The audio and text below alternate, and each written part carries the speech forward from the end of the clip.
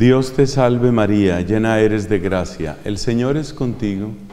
Bendita tú eres entre todas las mujeres, bendito es el fruto de tu vientre Jesús. Santa María, Madre de Dios, pecadores, ahora y en la hora de nuestra muerte. En el nombre del Padre y del Hijo y del Espíritu Santo. Amén. Ahora que les escucho esta hermosa canción que acaban de interpretar, que dice, me has seducido Señor, claro, uno se acuerda de las palabras del profeta Jeremías, ¿no? Donde dijo también él, me sedujiste Señor y me dejé seducir. Es bueno preguntarse en qué consiste esa seducción, a la luz de lo que estamos comentando sobre las exigencias del llamado de Cristo. Realmente parece demasiado exigente, demasiado duro. ¿Qué es lo que encontraban aquellas personas, aquellos apóstoles? ¿Qué encontraban? El apóstol Pedro nos dice, tú tienes palabras de vida eterna. ¿Qué puede significar esa expresión? Hay una manera de interpretarla que me parece muy práctica y muy bonita y con todo gusto se la comparto. La vida humana cuando se define únicamente en términos de esta tierra, tiene tres verbos que son producir, consumir y entretenerse. La vida de mucha gente es dar vueltas en esa rueda, producir, consumir y entretenerse. Trabajar durísimo, gastar muchísimo y luego divertirse como locos. Esa es la vida de mucha gente. Esa es la vida de muchos jóvenes. A mí me encanta escuchar los testimonios de las vocaciones. Estoy seguro que cada uno de ustedes tiene una historia y estoy seguro que esas historias son distintas, pero cada una es fascinante. Eso estoy totalmente seguro. Y en muchas de las historias que he escuchado sobre las vocaciones, la gente dice, yo estaba bien, pero me faltaba algo. Yo estaba bien, yo tenía mi trabajo, yo tenía mi estudio, yo tenía mi novia, yo tenía mi vida organizada. Y llegó Jesucristo y desorganizó mi vida, pero al mismo tiempo me mostró que me faltaba algo. ¿Qué es lo que sucede cuando Jesucristo llega a la vida de una persona? Jesucristo rompe ese círculo, que es el círculo del confort. El círculo del confort es producir, consumir y entretenerse. Ya tengo la vida organizada. Tengo un buen trabajo, gano bien, puedo comprarme las cosas que yo quiero, esa es la parte del consumir, y de vez en cuando un gustico. Un gustico, qué sé yo, una buena comida, un lujo, una joya, un paseo, un crucero, según el presupuesto de cada uno. Producir, consumir y entretenerse. Ese es el círculo del confort, es el círculo de la vida humana cuando se define en términos de esta tierra. Pero como decíamos en otra de estas predicaciones, el corazón humano tiene un hueco que es del tamaño de Dios, hay una ansia de infinito. Y esa ansia de infinito, si no se encuentra con Dios, se convierte en un pequeño monstruo llamado ego. Y ese ego está insatisfecho, se vuelve lloroso, se vuelve chinchoso, dicen en unas partes de Colombia, se vuelve cansón. Y, es una sensación desagradable, es una sensación como que algo no funciona en mi vida, aunque todo parece funcionar en mi vida. Todo está bien, pero algo anda mal. Esa es una sensación. Y hay muchos testimonios vocacionales, tal vez algunos de ustedes podrían decir esas palabras. En mi vida todo estaba bien, pero algo andaba mal. ¿Y cómo puede ser eso? Es una contradicción. Si todo está bien, todo está bien. No, Señor. Hay veces que todo está bien, pero algo anda mal. ¿Y qué es lo que anda mal? Es esa hambre de infinito, es esa hambre de trascendencia. Pedro tenía su vida organizada. Muy posiblemente, dicen los autores, Pedro era viudo. Al parecer Pedro era una persona viuda. Él tenía su suegra, de la cual se habla en el Evangelio de Marcos, por ejemplo, él tenía su suegra, pero Pedro era viudo. Era muy extraño que una persona viviera con la suegra. Creo que sigue siendo extraño. De todas maneras, de todas maneras, este Pedro vivía con la suegra. De hecho, esa fue la casa donde vivió Jesús. Jesús vivió en una habitación de la casa de Pedro allá en Cafarnaún. Si usted va a Tierra Santa, entonces le muestran esos lugares.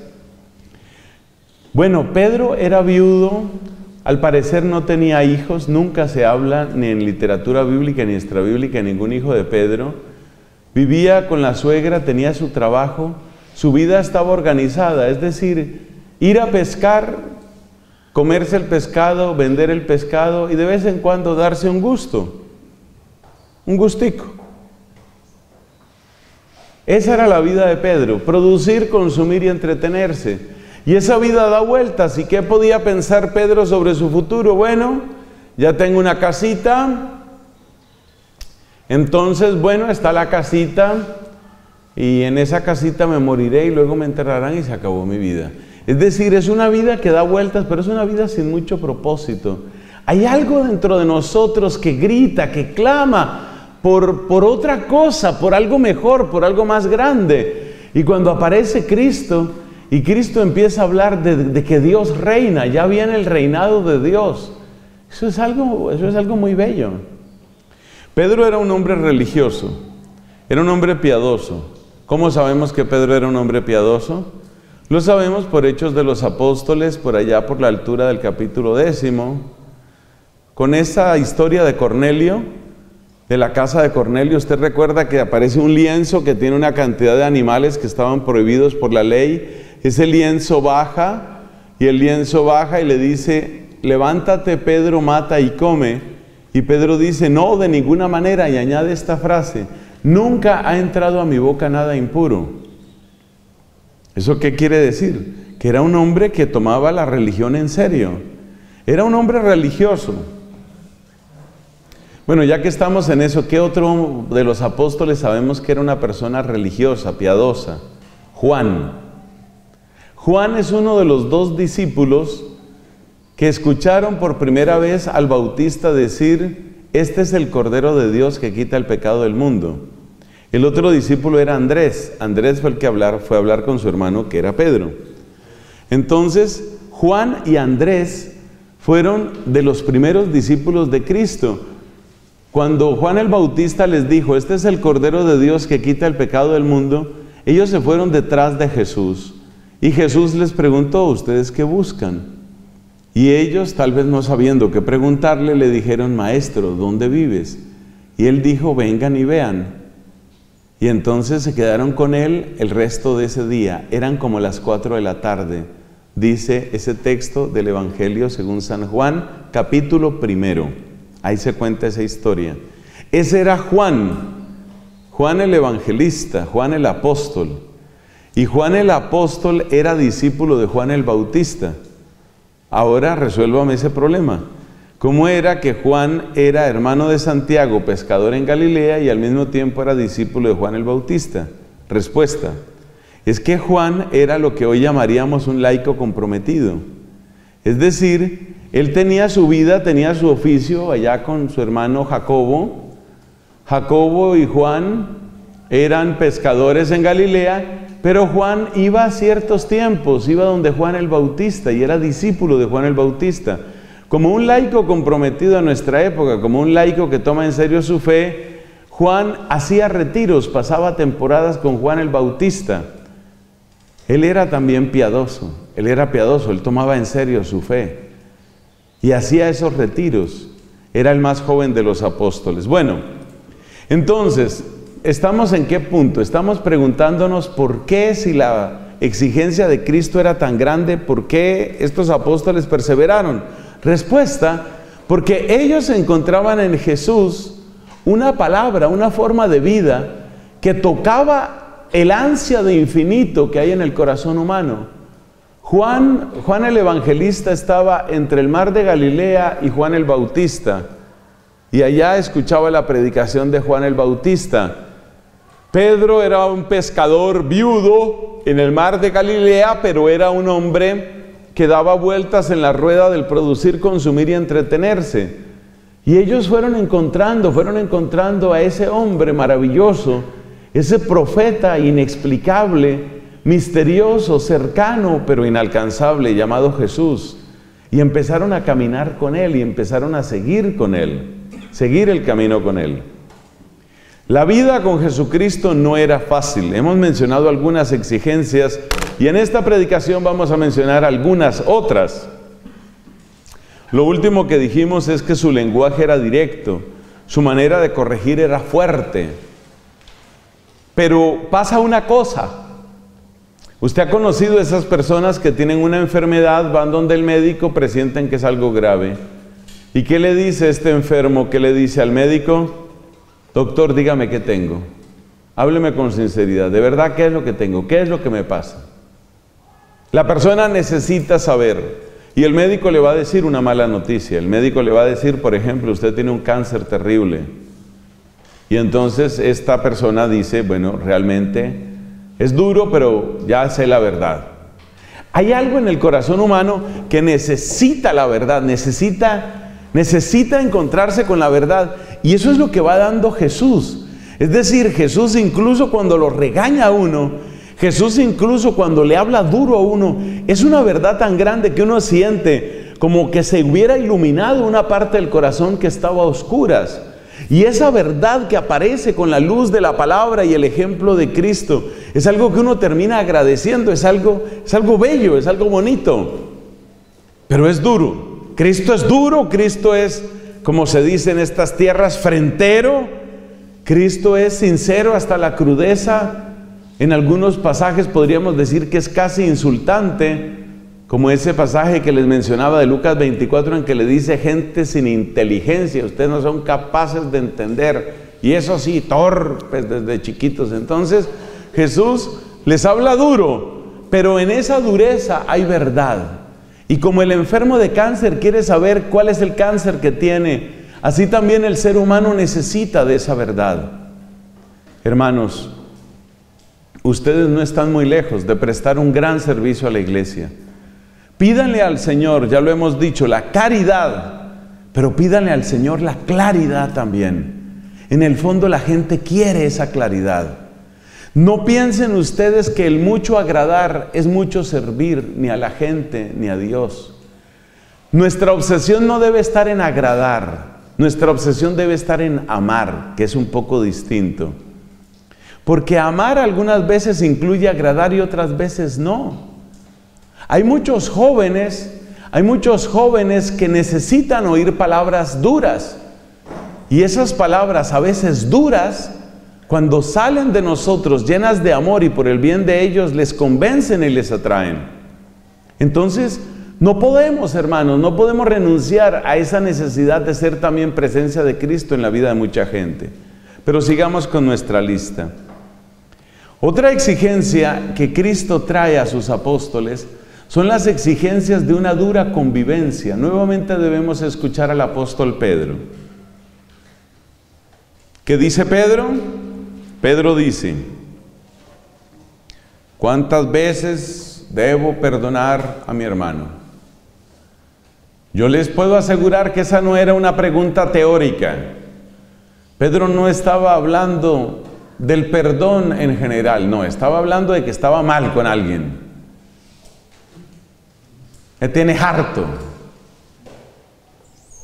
Tipo ese no hay quien se lo aguante. Y entonces Pedro, tratando de negociar un poco, le dice a Jesús, bueno, ¿cuántas veces tengo que perdonar? ¿Siete? Ya dijo un número alto. Quiere decir que el otro apóstol que le hacía la vida amarga ya llevaba como cuatro o cinco metidas de pata con Pedro. Entonces Pedro dijo, lleva cinco, voy a esperar por ahí hasta siete. A partir de siete ya la cosa es a otro precio. ¿Cuántas veces tengo que perdonar? ¿Hasta siete? Jesús dice, no te digo hasta siete, te digo hasta setenta veces siete. Uy, caramba, eso está grave. Entonces la convivencia es difícil. Por eso a mí no me gustan esos manuales de primera comunión. Espero que no los haya aquí en Bucaramanga. Si los hay, quémenlos. esos, manuales, esos manuales de primera comunión que presentan la Eucaristía. Es la comida de Jesús con sus amigos. Eso no se llama la Eucaristía de Jesús, se llama el picnic de Jesús. Cuando usted está comiendo con sus amigos, si yo le digo a usted una comida con sus amigos, ¿usted qué se imagina? Pues hombre, un ambiente agradable, un ambiente Un ambiente grato, usted está reunido ahí con sus amigos, seguramente han preparado algo bueno, delicioso, la gente conversa, la gente se ríe, se acuerdan de las anécdotas. Esa es una comida con los amigos. La última cena no fue eso. Entonces, por favor, mejorar la catequesis de primera comunión. Eso de presentar la Eucaristía como una comida de amigos, no, no hombre, una comida de amigos es otra cosa. Yo de tanto venir a Bucaramanga, pues ya conozco, claro, el poco de centros comerciales que hay aquí. Esa gente que se sienta alrededor de una mesita y piden por ahí una picada o piden una carnecita bien asada. Eso es una comida con amigos y la gente se ríe y echa anécdotas y luego al final se toman la foto.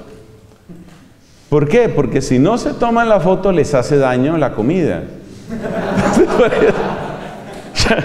es la única explicación que, veo. ¿Por qué tienen que estarse tomando fotos? ¿Por qué? A ver, ¿cuál es la razón? Entonces ya entendí, lo que pasa es que si no se toman la foto, les cae mal la comida. Esa es una comida de amigos. Entonces la última cena no es Jesús, bueno, a ver, cuádrense, cuádrense ahí. Jesús, pero ya se fue Judas, ese no importa. Eso, ese, no tenía que quedar, ese no tenía que quedar en la foto. Hombre, que no, que, que esa no es la última cena. La convivencia no era fácil. Usted póngase a pensar la vida que llevaba esta gente. No tenían dinero, porque el dinero lo tenían, tenían bolsa común. El dinero lo llevaba Judas. Y eso significa que a esa bolsa le entraba mucho y le salía poco. Entonces, complicada la cosa con Judas de tesorero. Difícil, difícil es económico. Entonces, plata no había. Trabajo mucho. Misericordia continua. Exigencia de la gente a todas horas. No se sabe para dónde vamos. incertidumbre. Obediencia. Regaño por la mañana y por la tarde. Terminó el día. Al otro día, no se sabe para dónde vamos, no hay plata, no se sabe dónde está la comida, bastante trabajo, gente que acosa. Eran tantos los que iban y venían que no les quedaba tiempo ni para comer. Regaño por la mañana, esta vez no hubo regaño por la tarde. Seguir trabajando, orar, dormir poquito, se acabó el día. Al otro día, no se sabe la plata, a trabajar otra vez. Era una vida dura. Entonces ellos en qué se sostenían? Religiosamente, espiritualmente, teologalmente ellos se sostenían en la certeza que dijo Pedro. Tú tienes palabras de vida eterna. Tú eres el Mesías, el Hijo del Dios vivo. En fe ellos se sostenían en eso, pero también se sostenían humanamente. ¿En qué se sostenían humanamente? Esa parte no es bonita. Se sostenían humanamente en que ya casi iba a despuntar el reino de Dios. Y en cuanto venga el reino de Dios, se acabó esta aguantadera de hambre tan complicada, se acabaron estas asoleadas, se acabó este cansancio. Ahora sí, ya me darán mi oficina, y ya la cosa será distinta. Entonces ellos humanamente vivían de esa esperanza. Ellos vivían de cómo iban a mejorar las cosas y las cosas nunca mejoraron. Porque cuando iban a empezar a mejorar, al contrario, torturaron a Cristo y lo mataron. Entonces, ¿cuál fue la mejora? No hubo mejora. Pero ellos humanamente tenían esa esperanza, tenían esa esperanza de que esto va a mejorar, esto mejora, esto es cuestión de aguantar un poquito, un poquito. Un día Jesús les dijo, vamos, vamos a Jerusalén, vamos a Jerusalén. Claro, todo el mundo sabía que en Jerusalén estaban todos los enemigos de él. Estaban los herodianos, los sumos sacerdotes, los escribas, los fariseos que tenían todo su epicentro allá en el templo. Vamos a Jerusalén. Bueno, ahora sí viene lo difícil. Pero ya pronto, ya pronto, ya, ya viene. Ya viene, ya viene, ya casi, ya casi llega. Esa era una esperanza que ellos tenían. Y por eso, aquí viene el segundo ingrediente, les dije que no era bonito, El segundo ingrediente era, al fin y al cabo, yo soy el primero. Por eso la discusión perpetua de ellos era, ¿quién es el primero? ¿Quién es el primero? No tenían de dónde más agarrarse, ahí no había afectos, ahí no había, no había consuelos humanos, no había ni, prácticamente ninguno. Claro que es maravilloso estar cerca de Jesucristo, escucharlo, es algo que realmente tenía un poder muy grande en la gente. Acuérdate lo que nos dice el evangelista Juan. Ya llevan tres días conmigo, me parece que es en Juan donde está esa descripción del milagro de la multiplicación de los panes, que hoy se lo quieren quitar a Cristo, ¿no? Es una campaña quitarle los milagros a Cristo por, por incredulidad. La gente cree que robándole uno o dos milagros a Cristo lo acercan a la gente. Ay Dios. Eso mejor no hablemos de ese tema ahora. Pero sí es muy triste eso, la, quitarle milagros a Cristo. Bueno, el hecho es que la vida de ellos no tenía muchos alicientes, no tenía muchos consuelos humanos. Entonces estos apóstoles se aferraban a dos cosas. Primero, que yo soy el más importante, soy el más importante. Cada uno pensaba que era el más importante. Es decir, una pandilla de locos ahí, cada uno pensando, yo soy, ay Dios mío, pobres apóstoles yo soy el más importante. Y luego pensando, ya, ya casi se acaba. Este, este, es, este es un periodo, es un poquito difícil, pero esto ya casi se acaba. Ya casi se acaba. Yo me imagino que, por ejemplo, Mateo, Bartolomé, ellos pensaban, bueno, ya estoy en segundo de teología. Ya, ya, ya casi, tercero de teología, ya casi, ya casi, ya casi esto se acaba. Ellos pensaban así, ya estoy en segundo de teología, en tercero. Yo me imagino a Natanael pidiendo homologaciones. a mí me hace el favor, me, homologan. Antiguo Testamento 1 y 2 me lo homologan, me hacen el favor. Profetas puedo presentar eh, examen de suficiencia. Ay, Dios mío. Entonces la convivencia era difícil. ¿Y qué lleva? ¿A dónde llevan estas exigencias? Estas exigencias nos llevan a conocernos, a conocer el proceso interior. El proceso interior, la formación interior. ¿Por qué la exigencia nos lleva a conocernos? Respuesta. La exigencia nos lleva a conocernos porque la exigencia nos pone en movimiento. Oiga esta frase que la he oído en varias versiones y me fascina. Solo conocerás tus cadenas cuando empieces a moverte. Solo conocerás tus cadenas cuando empieces a moverte. Usted, por ejemplo, ahora se encuentra ahí sentado, yo también. Mientras estamos sentados, si alguien, por hacernos un chiste malo, nos amarrara la pierna a la pata de la silla, uno normalmente no se da cuenta de eso.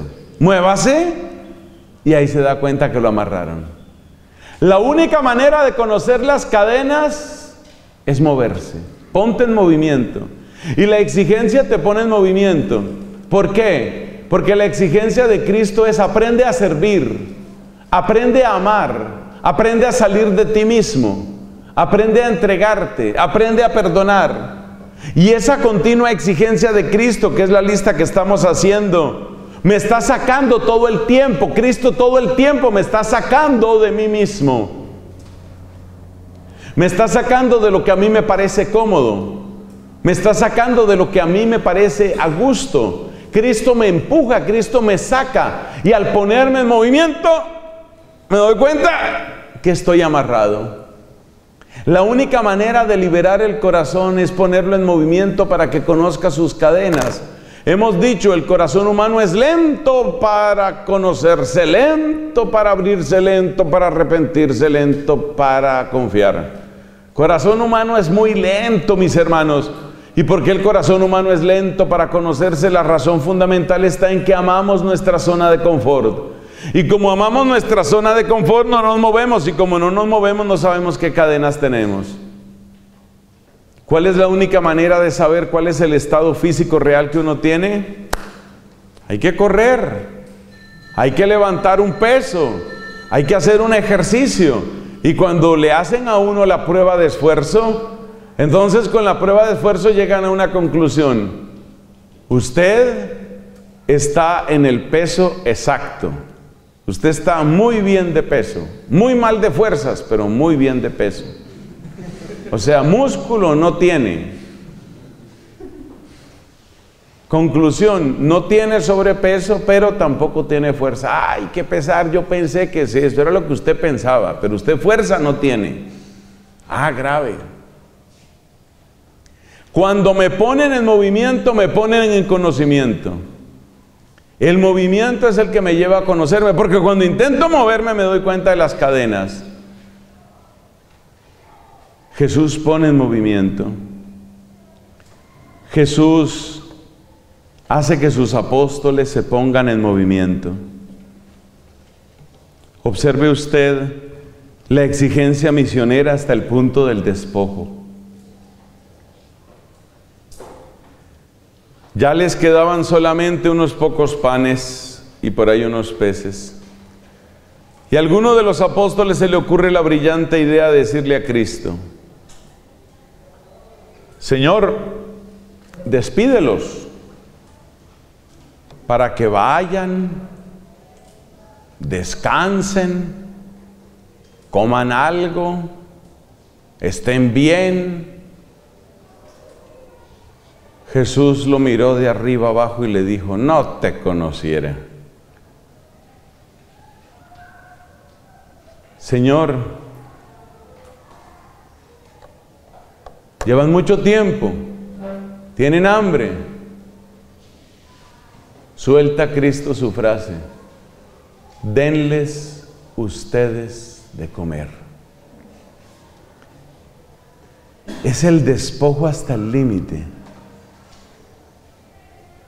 Entonces, los pancitos, hombre, que teníamos. Ah, caray. Tanto trabajo conseguir esos panes sin gluten. y ahora, no eran panes con gluten, los de ellos eran panes con gluten.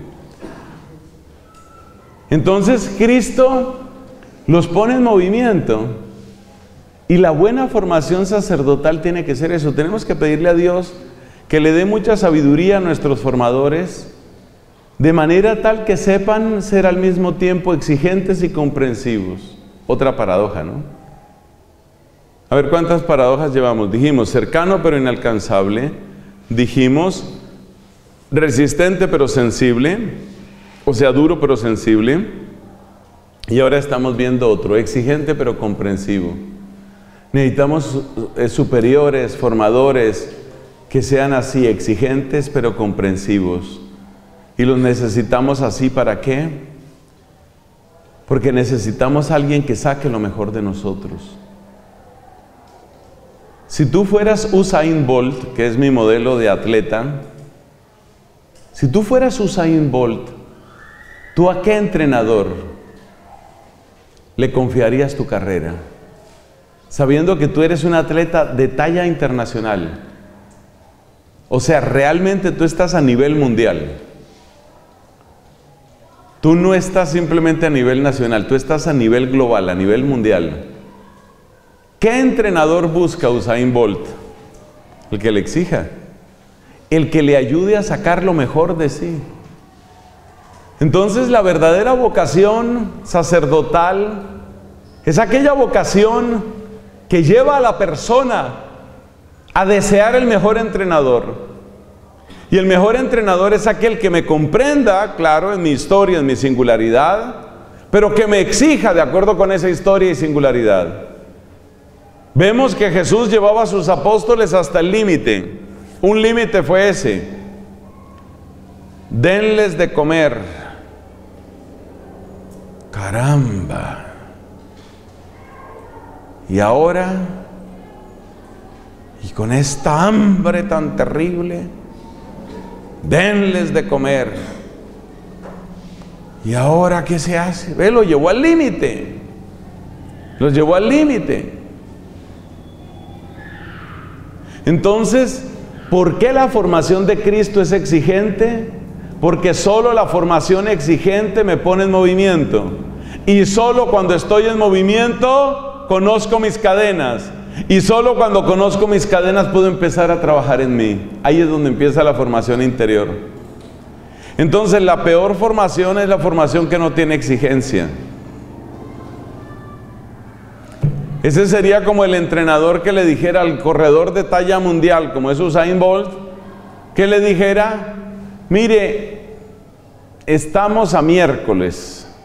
Yo creo que ya usted ha corrido mucho esta semana. Descanse, hombre, descanse tómela suave, visite sus amigos, duerma tarde, coma lo que quiera. Hombre, ¿qué entrenador es ese?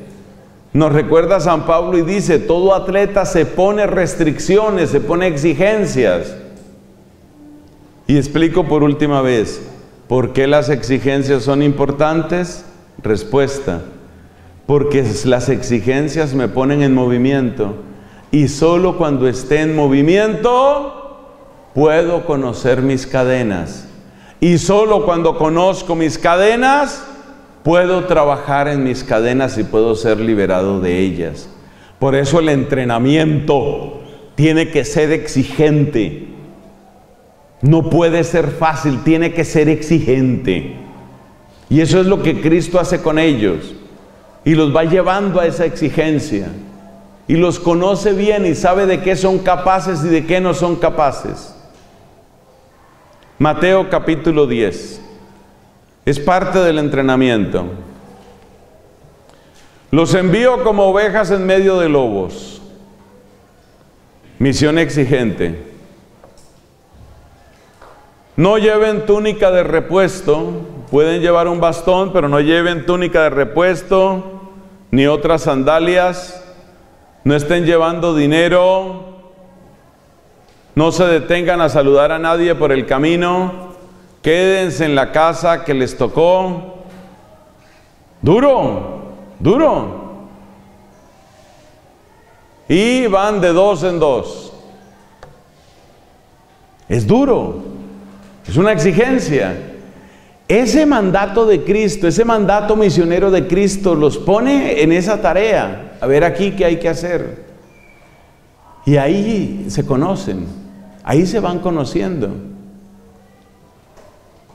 Lucas nos cuenta de otra misión, la misión de los 72. Designó otros 72 para que fueran a los poblados donde él iba a pasar. Y volvieron contentos, volvieron felices. O sea que no todo era amargo, no, claro que no, había momentos de felicidad, momentos de alegría. Ellos regresan y dicen, Señor, hasta los demonios se nos someten. Regresan felices, regresan gozosos, han experimentado la fuerza de Dios en sus vidas. Yo veía a Satanás caer del cielo como un rayo. Pero ustedes no se alegren de vencer a los demonios, alégrense porque sus nombres están escritos en el cielo. ¿De qué esperanzas vivían ellos? Cada noche se sentaban cada uno en una piedra distinta y pensaba, soy el primero, soy el primero, soy el primero. Amén. De eso vivían. Y los otros vivían pensando, yo me voy a encargar del Ministerio de Educación, yo me voy a encargar del Ministerio de Gobierno, voy a tener una oficina grande, bonita, voy a tener eso, voy a trabajar y voy a organizar esa oficina y eso va a ser, mucho lo bueno va a ser eso. Y ellos vivían de esa esperanza. ¿Y qué esperanza les dice Cristo? Alégrense de que sus nombres están escritos en el cielo. Se parece a lo que la Virgen María le dijo a Santa Bernardita Subirú. Te voy a hacer muy feliz, muy, muy feliz. Tú vas a ser muy feliz. Pero hay una pequeña condición, después de muerta. Una condición muy especial, ¿no? Entonces, para, para cobrar ese cheque toca morirse, toca morirse. Y eso fue lo que Jesús les dijo, los nombres están en el cielo. Les va a ir bien, les va a ir bien, pero hay un requisito, toca que se mueran. Pequeño requisito que hay. Entonces ya entendemos qué es lo que logra la exigencia. La exigencia logra que uno se ponga en movimiento, porque el ser humano padece de una cosa que se llama inercia. Inercia es que muchas veces uno no se mueve como debería moverse. Entonces, se cuenta de un señor que era muy perezoso y fue a una droguería, farmacia, llaman en otras partes. Llegó a una farmacia, señor, ¿usted tiene pastillas para la pereza? Sí, sí, claro que sí, tenemos. ¿Me pone una en la boca, por favor? El ser humano padece de inercia. Ser, ser humano tiene inercia. ¿En qué se nota la inercia? ¿En qué se nota que uno tiene inercia? En que uno se contenta con lo mínimo. Uno estudia para pasar la materia. Por eso todo estudiante, lo primero que hace el primer día de clase es estar muy despierto. Se toma unos dos o tres tintos, está muy despierto, quizás incluso una botella de Red Bull. Y está muy despierto, ¿para qué? Para analizar, a ver cómo es este tipo, qué hay que hacer, cómo hay que... Pero eso se llama una ley de mínimos. Eso indica, eso muestra la inercia en la que estamos. Cuando usted estudia solamente para pasar la materia y no profundiza, eso se llama inercia, eso se llama pereza.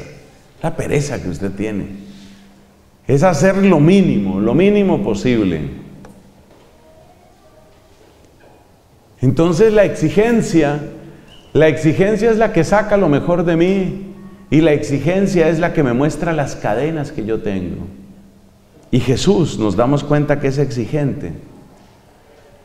Me falta mencionar dos cosas y luego vamos a decir unas palabras sobre esto de la exigencia, porque la exigencia más interesante no es la que viene de fuera, sino es la exigencia que usted empieza a aplicar. Esa es la más interesante, pero ya vamos para allá. Me falta decir dos cosas sobre la exigencia de Cristo. La primera, Cristo no trata de igual manera a sus apóstoles. El trato no es igualitario. Y esta es otra exigencia, exigencia de tipo emocional para los apóstoles. ¿Cristo trata a sus apóstoles de una manera igual? No, no. Cualquiera diría que tiene preferencias. Y con lo fastidiosas que son las preferencias. Bueno, hoy voy a hacer algo de oración. A ver, Pedro, ¿me acompañas? Santiago, Juan, vamos. Y yo, usted se queda. Le toca hoy aseo. Bueno. Luego se murió la hija de Jairo. Santiago, Juan, Pedro, acompáñenme. Ay, yo quiero ir. No, Señor. Se queda. se queda. Entonces, ¿qué pasó? Que la gente empezó a murmurar, no, aquí todo es rosca.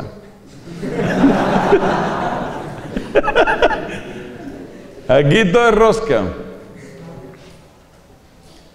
Voy a rezar un rato a Getsemaní. Sí, ya sabemos. Pedro, Santiago, Juan, vaya.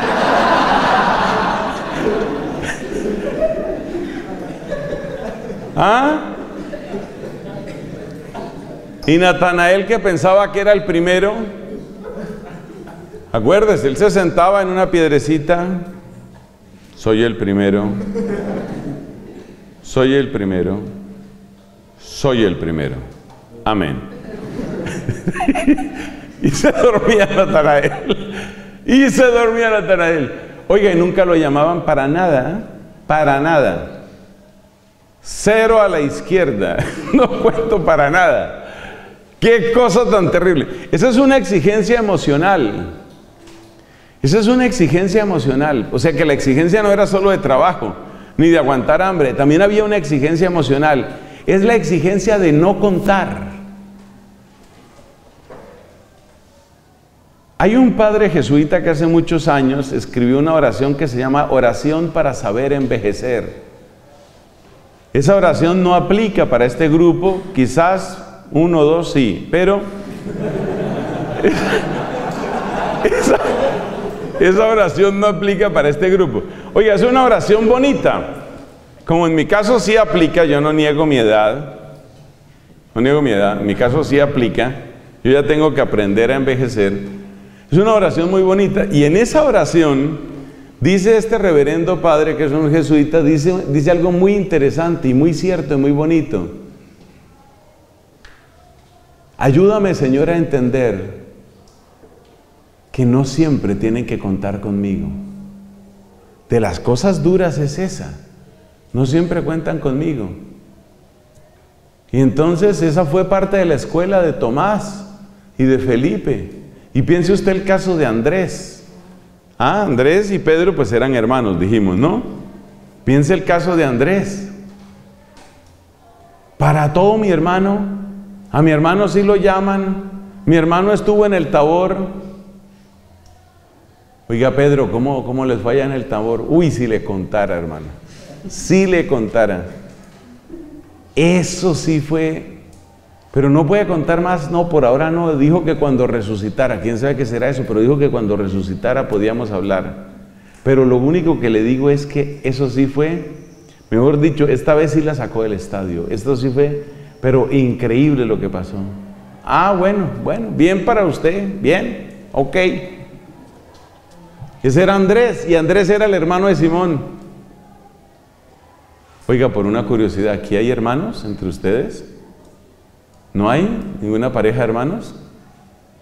Porque a veces pasa así en los seminarios, ¿no? Que hay dos hermanos de una misma familia. Pero parece que no. Primos hay, ¿no? Y alguno tiene algún hermano que ya sea sacerdote, es pura curiosidad mía, no tiene nada que ver con el retiro, sino es pura curiosidad. ¿Nadie tiene hermano sacerdote? No, qué cosa esta. Grupo particular. Bueno, en todo caso, Andrés y Simón sí eran hermanos. Y para todo llamaban a Simón. Bueno, Simón, porque este seguro no le decía a Pedro. Simón, ¿y qué era lo que pasaba ya en la casa? Pues que había muerto la hija. ¿Y qué pasó? La resucitó delante de ustedes. Estaba muerta, sí, sí. ¿Y qué hizo? La resucitó. Uy, ¿verdad? Sí, Señor. Bueno, bien para usted.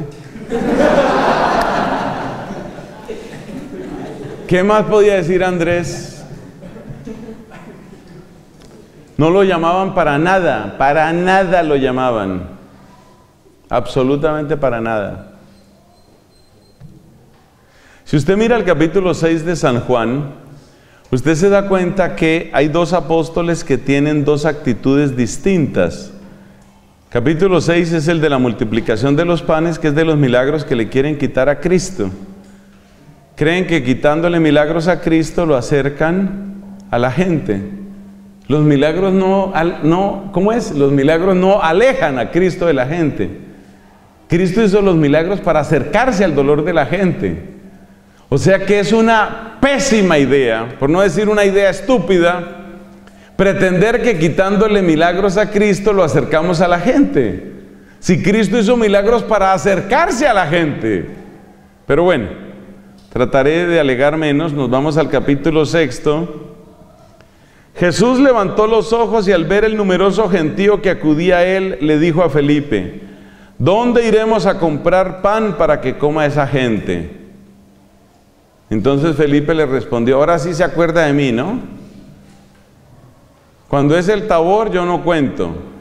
Cuando es la hija de Jairo no cuento. Pero cuando el problema es de conseguir pan, ahí sí cuento. Entonces Felipe le dijo, no alcanza, no alcanza plata, con 200 monedas de plata no alcanza para toda esta gente.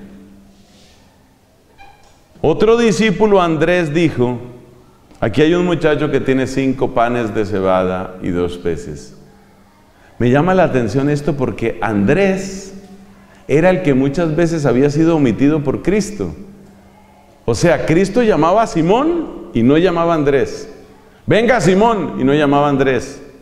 Bien hablaste de mí, Simón. Andrés, callado. O sea, Andrés, Andrés, y aquí Andrés se ofrece para ayudar. ¿Qué es lo que quiero destacar con esto? Que Cristo también nos prueba en el plano de las emociones. ahí es a donde yo quería llegar. Que Cristo también nos prueba en el plano de las emociones. También hay exigencia emocional. ¿Y la exigencia emocional para dónde va? Bueno, hay exigencias emocionales que son afectivas como todos estos temas sexuales y gente que se enamora y todo eso, son exigencias emocionales afectivas. Pero no todas las exigencias emocionales son afectivas en ese plano, por lo menos. Hay otras exigencias emocionales. ¿Y cuáles son? Las que dijo ese sabio sacerdote jesuita en su oración, cuando no me tomen en cuenta. Eso de que lo van haciendo a uno poco a poco a un lado, y uno se va convirtiendo poco a poco en un mueble. Y uno se va volviendo paisaje y ya nadie lo consulta y ya uno no importa. Eso sucede a veces por enfermedad, eso sucede a veces por vejez. Yo conocí un sacerdote, Dios lo bendiga siempre, que fue sanado de una parálisis. Él tuvo un accidente y él quedó paralítico cuando era seminarista. Entonces él cuenta que no lo sacaron del seminario, pero era un problema, era una situación difícil. Porque ordenar a una persona paralítica no es tan fácil. Pero no lo sacaron del seminario, él seguía en el seminario. En aquella época precisamente él se volvió especialmente fervoroso en la oración y muy unido a María Santísima. Este sacerdote paralítico, él me contaba su historia, es un sacerdote colombiano. Él me contaba su historia y él me decía, al principio prácticamente todo el seminario pasaba por mi habitación. La gente me saludaba, me llevaba saludos también de otras personas. Había seminaristas, compañeros míos, que me decían, mire, póngase al día, yo le colaboro con esto. Había mucho espíritu de fraternidad. Pero hay una cosa que se llama fatiga de la caridad. La fatiga de la caridad es que uno se cansa de estar ayudando. Y entonces poco a poco este hombre por enfermedad, no por vejez, era muy joven, era seminarista como ustedes, por situación de enfermedad se fue quedando solo. Es decir, ya a veces pasaban días en que prácticamente nadie lo visitaba de sus compañeros del seminario, sino que únicamente pues le llevaban, eso sí, las comidas, ni más faltaba. Le llevaban las comidas, lo atendían, lo ayudaban para lo del médico, pero se fue quedando sin amigos y se fue quedando en soledad porque ya no contaba. Para muchas cosas no se podía contar con él. Paseo del seminario, no se puede contar con él. Entonces la enfermedad, la vejez u otras condiciones hacen que a veces la gente no cuente con uno y uno se vuelve paisaje y uno se vuelve un mueble y entonces uno no importa y eso es exigencia emocional también. Eso es exigencia emocional. Ese es otro nivel de soledad. Muchas veces la gente cree que la soledad del sacerdote simplemente yo quisiera una pareja, unos hijos. No necesariamente. Hay una soledad emocional que es esto. Yo quiero importar, yo quiero que cuenten conmigo, que me incluyan en sus chistes. Yo quiero ser importante, yo quiero contar. Y Jesús sometió, a varios de estos los sometió a esa clase de exigencia emocional. Bueno, ustedes dirán, bueno, pero se notaba la preferencia por Pedro, Santiago y Juan. No, fue a los que más duro les dio. Mira lo que le dice a Pedro. Lo trata como Satanás. Y le dice, opiso mu, que literalmente en griego quiere decir, detrás de mí. Tú no eres el que manda, tú vas detrás de mí. Otros traducen de otra manera que me parece que es menos correcta. Apártate de mi vista. Pero en todo caso lo regañó y lo humilló. Y según las crónicas, ese día Pedro ya no habló más. Tuvo callado todo el día. ¿Ve? Y cuando en la última cena Pedro le dice, ¿y yo por qué no puedo ir donde tú vas a ir? Si tengo que morir por ti, moriré. Y le dice Jesús, ja, ja. Bueno, no le dijo así, sino le dijo, le morir tú por mí. Tú vas a morir por mí. Antes que el gallo cante, un evangelio dice una vez, otro dice antes de que el gallo cante dos veces, me habrás negado tres. Y eso se lo dijo enfrente de todos los demás. Y a Santiago y a Juan, ¿cómo los trató? En primer lugar les tenía apodo, que ya ustedes lo conocen, los atronados. Los atronados, los hijos del trueno quiere decir eso, es decir, ustedes son como si les hubiera caído un rayo, los atronados. Y luego, ¿qué más dijo Cristo con respecto a Santiago y Juan?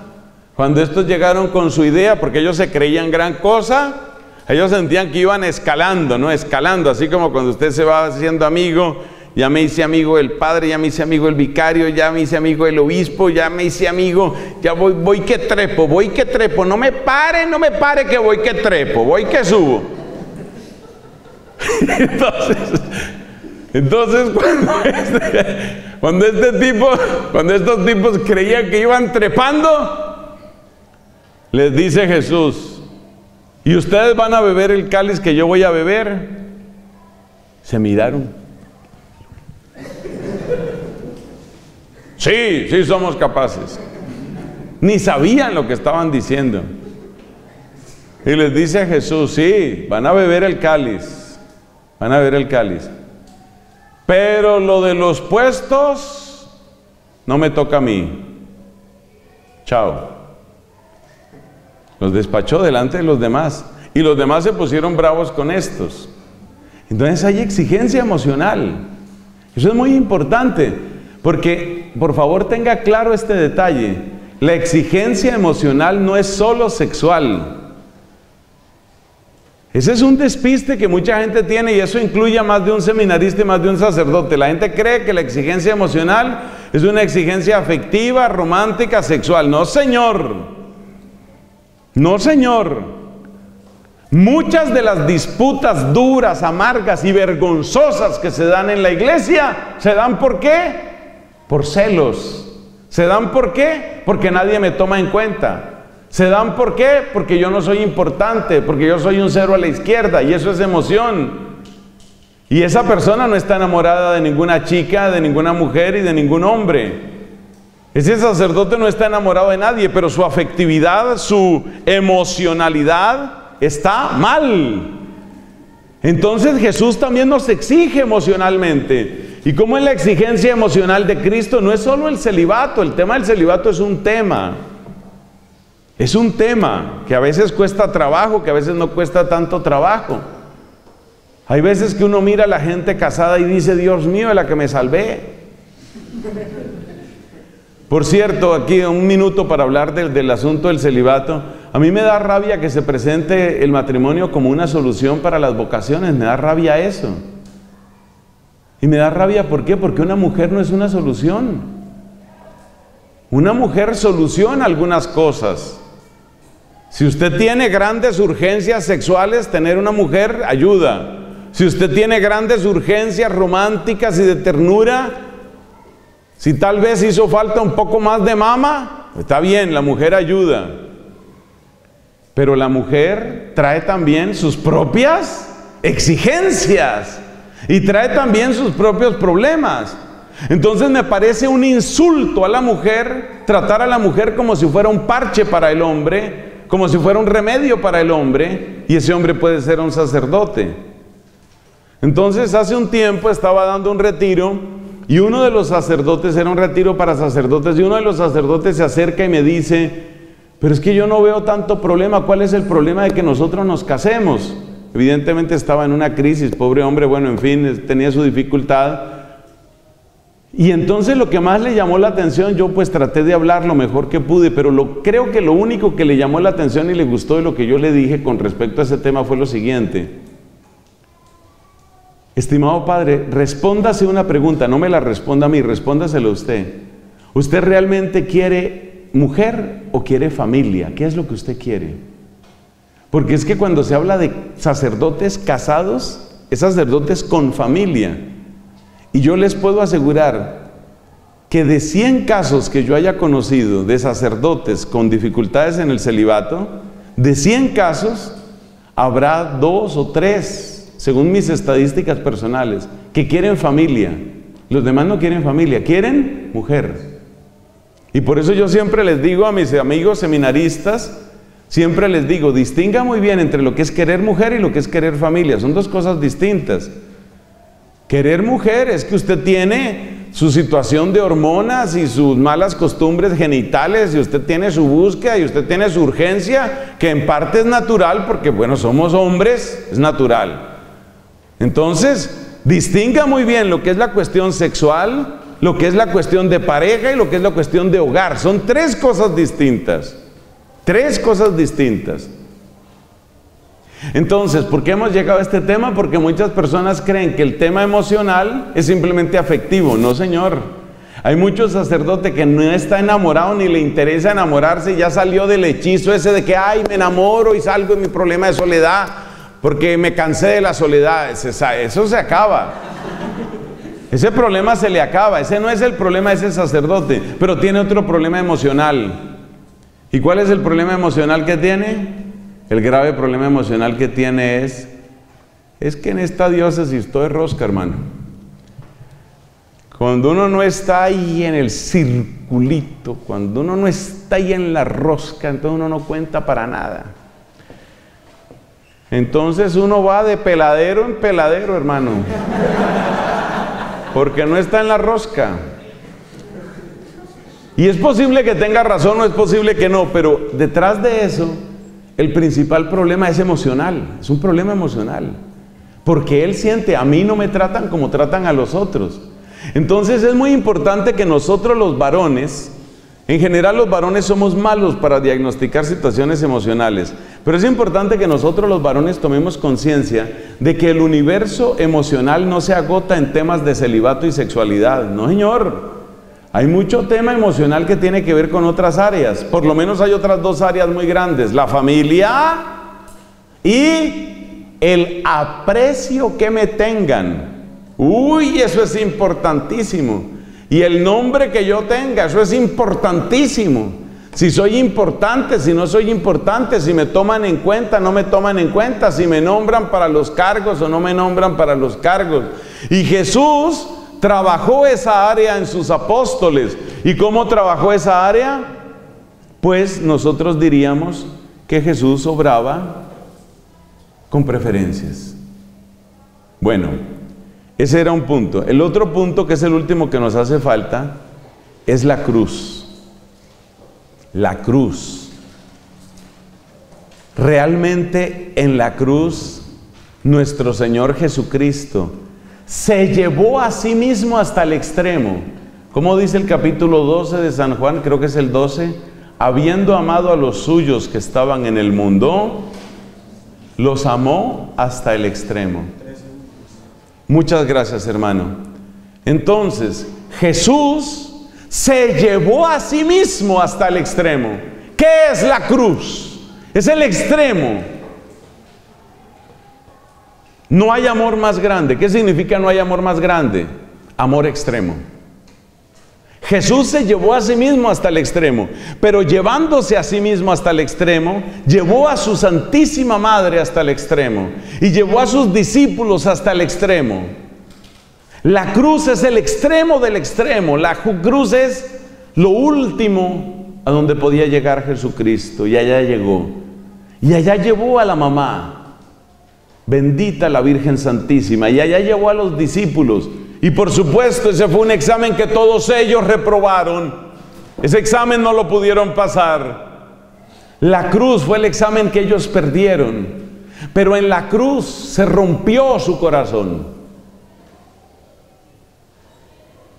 ¿Cuál es la gran virtud que tiene la cruz? Hay un obispo norteamericano que está en proceso de beatificación. Yo desde hace años he sabido de él. Y lo aprecio y respeto mucho, por supuesto murió hace ya bastantes años, ejerció lo principal de su ministerio en la mitad del siglo XX, el nombre de él es Fulton y el apellido es Sheen, S-H-E-E-N, Fulton Sheen. Probablemente este hombre va a ser beatificado, a mí me alegraría mucho, un obispo muy sabio, muy santo. Y según Fulton Sheen, la frase clave de la cruz es ¿por qué Él está ahí? Catalina de Siena, doctora de la iglesia a la que le debo tantísimo, tenía esta otra frase. Estamos cambiados.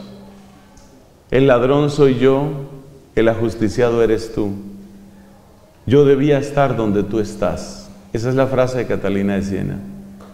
Entonces la cruz es la gran revelación. En la cruz Cristo abre su corazón, amándonos hasta el extremo abre su corazón literalmente por la lanza del costado de aquel soldado, pero al abrir su corazón, al amarnos así, Él abre también nuestro corazón. ¿Por qué estás ahí? ¿Por qué amas tanto? ¿Por qué tanto? Gálatas 2, me amó y se entregó por mí. ¿Por qué a mí? ¿Por qué a mí? Yo no te merezco. Yo no te merezco. Yo no merezco que me ames así. La cruz es una explosión de amor tan fuerte que no solo rompió el corazón de Cristo, sino que rompe el corazón de todo aquel que se acerca a ese misterio. Entonces la gran revelación del corazón es la cruz. La cruz de Él, que luego llega al punto de lo que dice San Pablo. Ojalá tenga yo una viva experiencia del poder de la cruz. Entonces la cruz, la cruz es la gran revelación del corazón humano. Qué impresionante la cruz. ¿En dónde se formaron los discípulos? Pues en ese largo camino, en todas las cosas que hemos dicho, acuérdate lo que dijimos, eran diversos, eh, las tensiones que tenían eh, físicamente, el ministerio era terrible, todo eso los formó, pero de donde ellos nacieron fue de la cruz. En la cruz se forma el sacerdote, en la cruz. Y el sacerdote que no está crucificado, el sacerdote que no está crucificado está hablando de Cristo sin vivir a Cristo. Necesitamos una participación en la cruz del Señor. Ninguno de nosotros puede sufrir lo que Él sufrió. Pero por favor recordemos las palabras también de Pablo en la carta a los Gálatas. Ahí donde dice el apóstol, de ahora en adelante que nadie me moleste, yo llevo en mi carne las huellas de la cruz del Señor, las huellas de Cristo. Hay que llevar las huellas de Cristo. Para despertar la fe de Tomás, Jesús le mostró sus llagas. Para despertar la fe de nuestro pueblo, tenemos que mostrar nuestras llagas. ¿A qué nos referimos con nuestras llagas? Al sufrimiento generoso y lleno de amor que hacemos por Cristo y por su pueblo. La gente tiene que vernos llagados. El sacerdote al que no se le ven las llagas nos parece una persona quizás agradable, pero cómoda, egoísta. Al sacerdote tienen que vérsele las llagas, tiene que verse que se está muriendo, se está muriendo realmente de amor. Entonces se paraba en su púlpito allá en la iglesia parroquial de Ars, se paraba San Juan María Vianney y la primera predicación era su propio cuerpo, su propio rostro, sus ojos acostumbrados a llorar de amor por Cristo Esos ojos que tanto habían llorado por el Señor, esos ojos tenían el brillo del que ha amado a fondo. Entonces nuestros ojos tienen que estar brillantes con lágrimas de amor por el Señor y nuestras manos tienen que estar llagadas por trabajar en su viña y nuestros pies tienen que estar encallecidos de haber recorrido sus caminos y nuestro costado tiene que estar abierto. Y cuando nosotros estamos así crucificados, entonces hermanos, somos realmente útiles. También aquí entra el tema del amor y del celibato. Si una mujer se encuentra con un sacerdote muy cuidado, se cuida muchísimo. ¿En qué sentido se cuida? Siempre escoge lo mejor para sí, la mejor ropa, la mejor tecnología, los mejores bienes, el mejor perfume, huélame nomás, mejor perfume. Esa mujer que lo oye hablar a usted, acuérdese que todo seminarista habla de una manera que es atractiva. ¿Por qué, hombre? Porque por más anoetoy, por, por, por más anoeto y que seamos, hombre, no crea uno, dos años, tres años de filosofía, eso le van dando a uno fluidez. Eso la palabra le va saliendo, le va saliendo. Entonces tiene labia, creo que llaman eso, tiene labia, eso la palabra le fluye. Entonces la muchachita ve al seminarista y el seminarista no tartamudea, no se tupe, le fluye. Seminarista le fluye, Dios mío, cómo habla, cómo se expresa. Y además ese perfume que utiliza y esa mirada que tiene y ese tono de su voz. Entonces de inmediato la relación se vuelve ambigua. El sacerdote acicalado, el sacerdote demasiado cuidado en su aspecto y demasiado mimado por sí mismo, estará perpetuamente en una situación de ambigüedad, perpetuamente. Con el problema de que no solo le van a caer las muchachas, sino también uno que otro.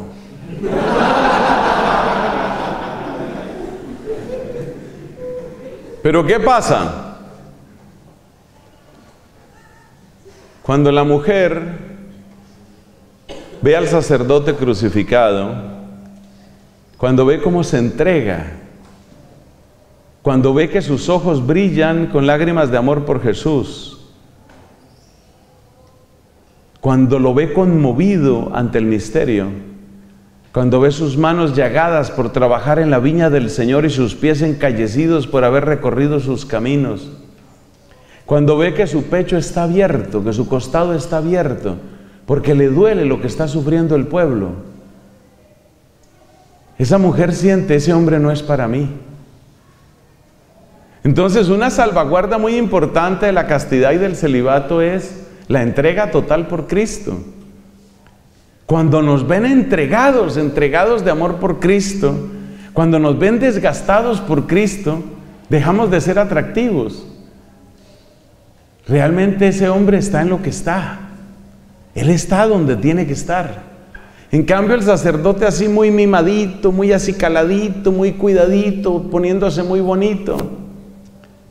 Ahora hay que reconocer que hay gente que es fea por naturaleza, hay gente que es bonita por naturaleza, ¿cierto? Entonces, ¿qué vamos a hacer? Si usted salió bonito, ¿qué vamos a hacer? Pero una cosa sí puede hacer usted, entréguese de lleno por Cristo y que la gente lo vea. Usted no tiene culpa de ser bonito, ¿qué vamos a hacer? Además, la juventud tiene su cierto atractivo. Es difícil encontrar una persona joven que uno diga realmente es feo, pero se consigue.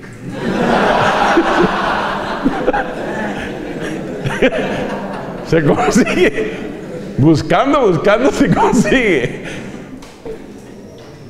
Entonces, cuidado con el sacerdote acicalado, el sacerdote mimado, el sacerdote que simplemente se dedica a presentarse y que incluso se goza en causar cierto impacto. Cuidado con eso, porque de esos hemos visto caer algunos. Y no me haga hablar aquí porque estoy que digo el apellido y no lo voy a decir, no lo diga usted que esto se está grabando, luego me luego me tachan de difamación. No vaya a decir ese apellido, no lo vaya a decir. Entonces, ¿qué pasa? Que usted empieza así a ponerse bonito. No, eso no se puede. Gástese por Cristo, gástese por Él.